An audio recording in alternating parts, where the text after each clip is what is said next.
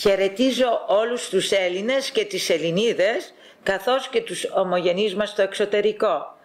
Η αντίστροφη μέτρηση έχει αρχίσει και οι εκλογές της 25ης Ιουνίου βρίσκονται πρώτων πυλών.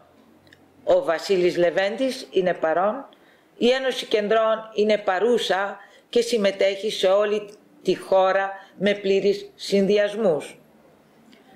Οι εκλογές αυτές είναι κρίσιμες γιατί επιδιώκεται πάση θυσία η αυτοδυναμία με το πρόσχημα χωρίς αυτοδυναμία θα έχουμε κυβερνησία. Οι εκλογές της 21ης Μαΐου έδειξε ένα φοβικό λαό που ψήφισε με το κίνητρο αυτό. Σε αυτό βέβαια συνετέλεσαν μια ανύπαρκτη αντιπολίτευση και ο τρόπος πρόθεσης της σημερινής κυβέρνησης από τα κανάλια.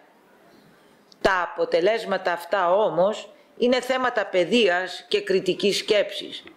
Και μια που μίλησα για παιδεία, θα αναφερθώ σε κάποια θέματα που αφορούν τις πρώτες βαθμίδες αυτής, δηλαδή την προσχολική ηλικία και την στοιχειώδη εκπαίδευση. Είναι δύο βαθμίδες οι οποίες δεν αναφέρονται καθόλου όταν ερωτούνται οι πολιτικοί ποιες είναι οι θέσεις του κόμματός σας για την παιδεία. Η απάντηση αμέσως είναι για τα πανεπιστήμια και για τις εισαγωγές και για τα ποσοστά και για τη βαθμολογία και τα κριτήρια που μπορεί να έχει ένα, ε, ένας φοιτητής καθώς και για τα γεγονότα που συμβαίνουν μέσα στα πανεπιστήμια που μας λυπούν όλους μας. Το πρώτο θέμα που θα αναφέρω είναι ότι χρειάζονται βρεφονιπιακοί σταθμοί περισσότεροι ώστε να υπάρχει δυνατότητα για όλους με διαφανείς διαδικασίες για να αποτραπεί ο αποκλισμός ευαίσθητων κοινωνικών ομάδων. Η κατασκευή νέων σχολικών κτηρίων για κοινότητες των γύρω μικρών ορεινών και νησιωτικών περιοχών που συγκεντρώνουν ελάχιστο μαθητικό πληθυσμό και θα υποστηρίζεται αυτό από τους Δήμους. Η μεταφορά των μαθητικών πληθυσμών στις σχολικές μονάδες να γίνεται με τη συνοδεία ως επιτοπλίστων πλήρους καταρτιζόμενου προσωπικού, ιδιαίτερα σε θέματα υγείας, με στόχο την ασφαλή πρόσβασή τους. Και η στελέχωση των σχολικών μονάδων να περιλαμβάνει εξαιρετικά εξειδικευμένους εκπαιδευτικούς περισσότερων ειδικοτήτων, ώστε να καλύπτονται όλες οι ανάγκες που προκύπτουν σε όλες τις βαθμίδες εκπαίδευσης. Παραδείγματος χάρη, μόνιμους σχολικούς νοσηλευτές, σχολικούς ψυχολόγους και εκπαιδευτικούς φυσικής αγωγής. Οι σχολικοί νοσηλευτές είναι για τις πρώτες βοήθειες σε τυχόν περιστατικά επίγοντα ή μη οι σχολικοί ψυχολόγοι να είναι για μαθησιακές δυσκολίες προσαρμογής και υποστήριξη των μαθητών σε συνεργασία με τους εκπαιδευτικούς, τους γονείς και όλη τη σχολική κοινότητα με στόχο τη δημιουργία ασφαλούς, υγιούς και υποστηρικτικού κλίματος που ενισχύει τους δεσμούς ανάμεσα στο σχολείο, την οικογένεια και την κοινότητα. Η εκπαιδευτική φυσικής αγωγής που πέραν των σωματικών δραστηριοτήτων των μαθητών να φροντίζουν για την ανάπτυξη της ευγενούς άμυλας μεταξύ των μαθητών. Και θέλω να το τονίσω αυτό, της ευγενούς άμυλας μεταξύ των μαθητών. Είναι ένας τρόπος να μπορέσουν οι νέοι και οι νέες αυτής της χώρας να μπορούν να συναγωνίζονται με ευγενικό τρόπο και όχι με φανατισμό όπως βλέπουμε στα γήπεδα και σε διάφορες άλλες εκδηλώσεις στην καθημερινότητά μας. Η Ένωση Κεντρών δίνει σημασία σε όλα αυτά και εγώ προσωπικά είμαι ευαίσθητη σε αυτά τα θέματα, στα θέματα της στοιχειώδους εκπαίδευσης που άλλωστε είναι και το επάγγελμα που ακολούθησα.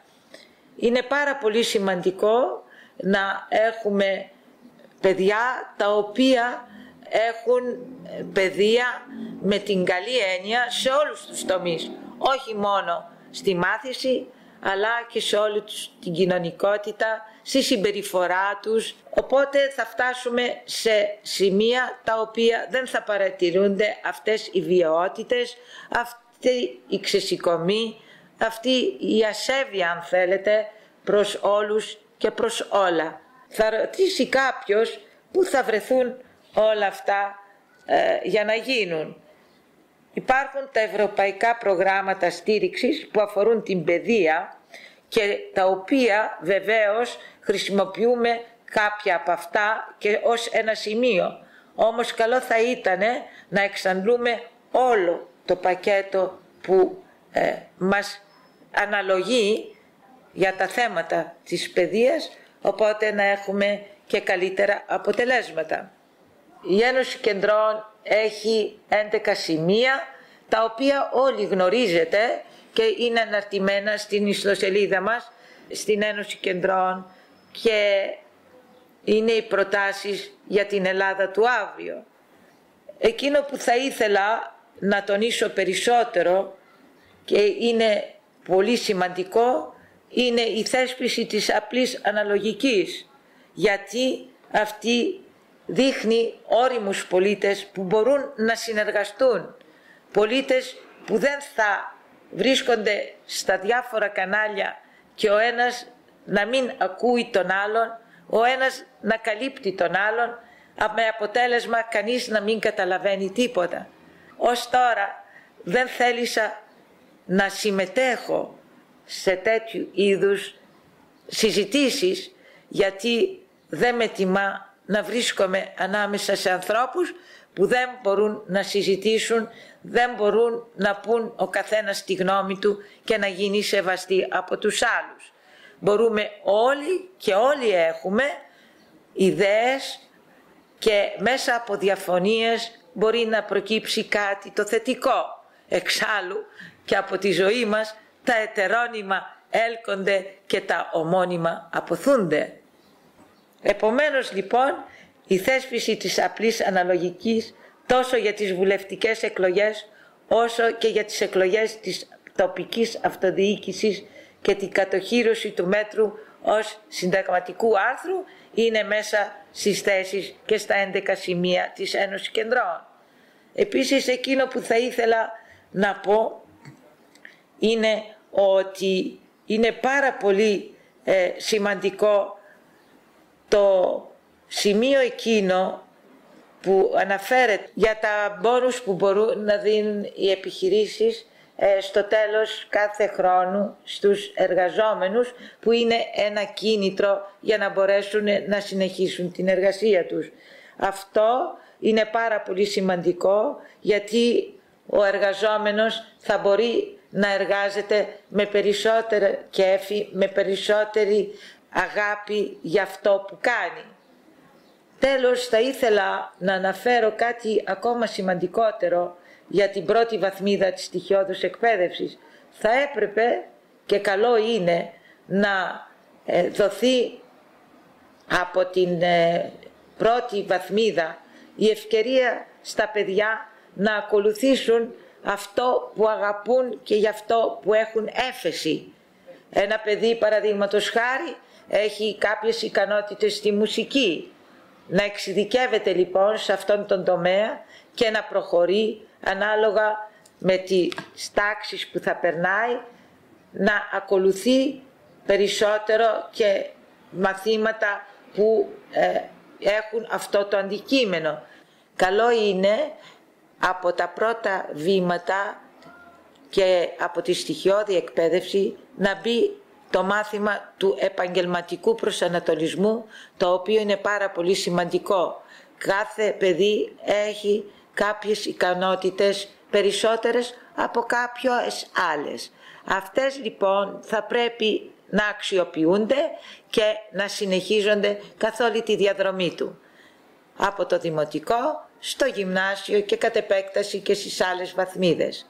Έτσι μόνο θα έχουμε πολίτες οι οποίοι θα αγαπούν και θα προσφέρουν πολλά στον τομέα που είναι ικανά να αποδώσουν περισσότερο. Με αυτά τα λόγια θέλω να κλείσω τους προβληματισμούς μου καθώς και τις θέσεις του κόμματος πάνω στα θέματα παιδείας και να ευχαριστήσω μέσα από την καρδιά μου τον πρόεδρο Βασίλη, της Ένωσης Κεντρών Βασίλη Λεβέντη ο οποίος με συμπεριέλαβε και αυτή τη φορά σε εκλόγιμη θέση στο βόρειο τομέα της Β' Αθηνών. Έχετε την αγάπη μου όλοι και όλοι.